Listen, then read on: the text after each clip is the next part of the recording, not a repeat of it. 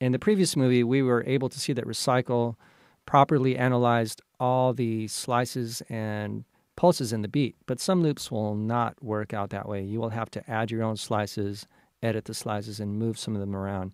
So let's look at how we would do that with a more complicated loop.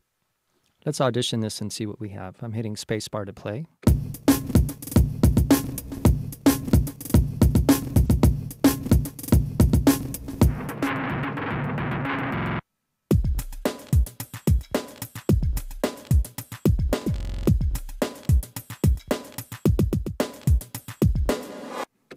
Right, let's recycle the second loop. There's some stutter edits in here and some glitches, and I can foresee that there might be some problems with the program chopping up every single pulse. So we'll start by zooming in. I'll adjust the sensitivity slider. At this point, I'm going to move the left locator to the first slice just so that I can have a point to rewind to. And as I'm scanning across, I see that I can further use the sensitivity slider.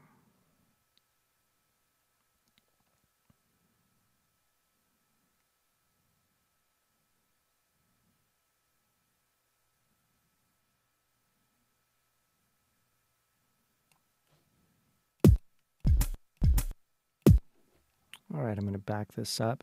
And now I'll, I will start with the auditioning of each slice and add slices as I need them. So I will zoom in. Once again, Apple click and drag. I'm grabbing the arrow tool, which turns into my audition tool. And there are two pulses I need to separate here, which I can do with the pencil tool. I'll zoom in to take a look at the file. And you will get used to looking the wave, looking at the waveforms I can see that the waveform actually changes at this point. That's usually an indication that one pulse is ending and another one is starting. And of course, you can definitely see the wave pulse changing here. I will grab the arrow tool again and make sure that I've separated those. Zoom out a little bit and continue auditioning each of these slices. Now there's two glitches here. I really don't think that's part of the pulse of the beat. So I can use the mute tool by clicking the triangle to remove those slices. Program will scroll here and the dotted line lets me know the last slides that I was auditioning so I don't lose my place.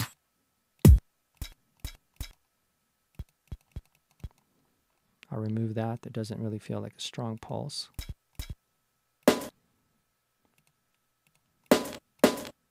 That's just a little bit of noise. I'll need to chop those up, so I'll grab the pencil tool. Zoom in here to look at the wave file.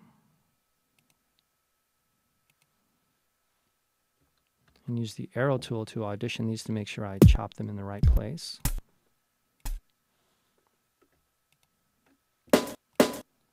And I'm using the quick commands now, Apple 1 through 4, to quickly change my tool so I can move through this quickly. Apple 1 for my speaker tool. Apple 4 for my pencil tool. Apple click and drag to zoom in. There we go.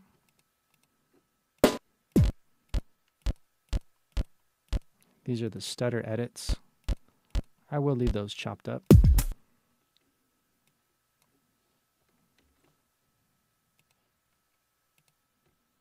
Apple 1 for the audition tool. Apple 2 for the mute tool.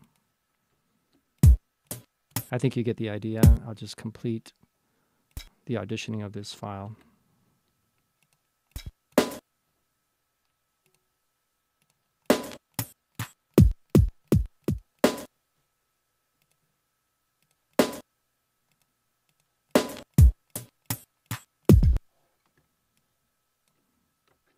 Apple 4 for the pencil tool. And I know that I'll need to add a slice at the end. And since I'm here, I might as well set my right locator. Now I'm satisfied that that loop has been properly recycled. Now I need to make sure that I have my right locator at a right loop point and count the number of bars, enter them here, and then save this file as a rex file. Two, three,